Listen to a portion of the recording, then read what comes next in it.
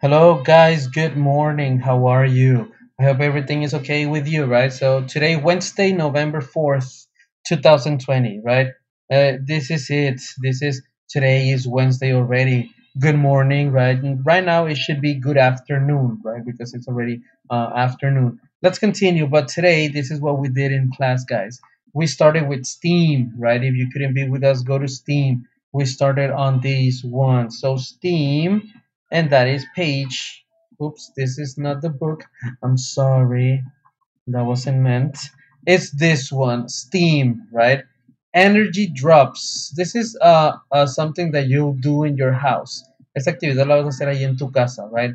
Eh, materials what do you need? Marbles these are marbles look. Paperclip bowl and water.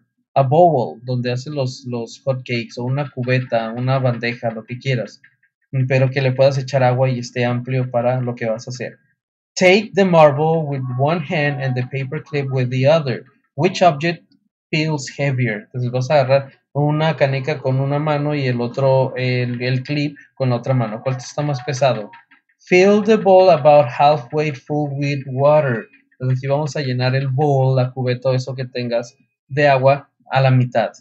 You will be dropping the marble and paperclip into the bowl of water. Don't drop them yet. Predict which object will have the most energy when it hits the water. Explain your prediction, right? Entonces, dice aquí que vas a arrojarlos al agua, ambos, right? Pero uno por uno. No los arrojes aún. Predice, ¿qué objeto crees que tenga más energía cuando golpee el agua? Explica tu predicción? Entonces, ¿cuál crees que va a golpear más fuerte? A lo mejor salpicar más agua, right? Number three, drop the marble into the bowl of water. Write down your observations. Entonces, basándose en lo que predicaste, ve ahora, lanza la canica, déjala caer nada más, no es de que la vas a aventar al agua, no, déjala caer al agua. Y este, escribe tus observaciones. ¿Qué viste? ¿Cómo cayó? ¿Aventó mucha agua? ¿Sacó mucho? ¿Salpicó mucho? Ahora, number four. Drop the paper clip into the bowl of water. Write down your observations. Now, vas a escribir aquí, vas a arrojar ahora, a soltar el clip y escribe tus observaciones. The objects fall at the same speed, but the marble's mass is about five times the mass of the paperclip. So what do you think the relationship is between mass and energy? Entonces dice aquí que el objeto golpearon la misma o tuvieron la misma velocidad, pero la canica es la más la materia de la canica era cinco veces más que la materia del clip, o sea, su hechura, ¿no? Eso. So, ¿qué crees? ¿Cuál crees que es la relación entre masa y energía? ¿Por qué crees que entre más masa golpeó más fuerte la canica el agua que el clip? Entonces aquí escribes tus ideas, right? This is it. Now then we went to vocabulary.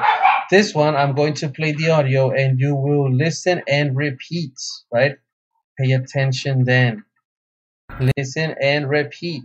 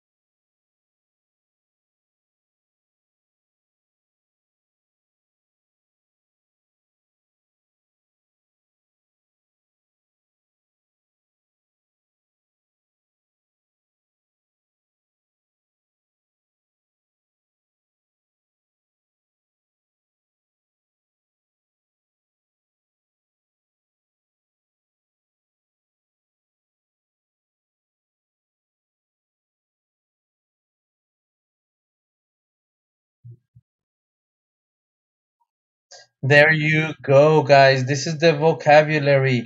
So, um, you needed to repeat, right? Listen and repeat, and read the definition. If you don't know a word, then please um, circle the new word, right?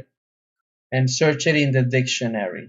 Now, this is what we did in the STEAM section, guys. We're gonna go to to think tank. Let's go to mathematics, right? Page 168, right? Sorry, here I put 166, but it's 168. So is this one, look, jobs versus careers, trabajos contra carreras, right? Algo que estudias en la universidad. What is a summer job you might want to do when you are in high school? Right? Entonces, ¿qué tipo de trabajo de verano te gustaría hacer o pudieras hacer cuando ya estés en la universidad, en, la, en la preparatoria, perdón. Entonces en la preparatoria, recuerda, sales de vacaciones, ya estás un poco grande, 16, 17 años, ya puedes trabajar. Entonces, ¿qué, qué, qué trabajo de verano se te ocurre, right? Obtener. Eh, what do you think you want to do when you grow up? ¿Qué te gustaría hacer cuando crezcas? And what is the difference between these jobs? ¿Cuál es la diferencia entre estos dos trabajos? El de verano que te dan cuando eres estudiante y el que haces cuando ya estás adulto, ¿no? Entonces ahí está. So please read these, right? People have to work a career. Entonces sabemos que un trabajo pues es el que va así, ay, voy a ir a trabajar al McDonald's, al Peter Piper Pizza, uh, I don't know, right? Entonces a, a esos lugares y en la carrera es voy a ir a estudiar a la universidad para aprender a hacer eso, ¿no? Entonces esa es una carrera, es la diferencia entre trabajo, trabajo vas y agarras experiencia ahí con el tiempo, pero una carrera es lo que vas y estudias a la universidad. Look this picture, entonces pon aquí job, cuáles son trabajos y cuáles son carreras, o sea, cuáles son las que ocupas ir a la universidad para estudiarlas y aprenderlas y trabajar de eso. Y trabajos son los que ganas práctica, right? So this is what we did in the English section think tank, right? Um, please answer it. And thank you very much for coming and watching the video. Yes, sir. Thank you. You are the best. Have a great day. Bye bye.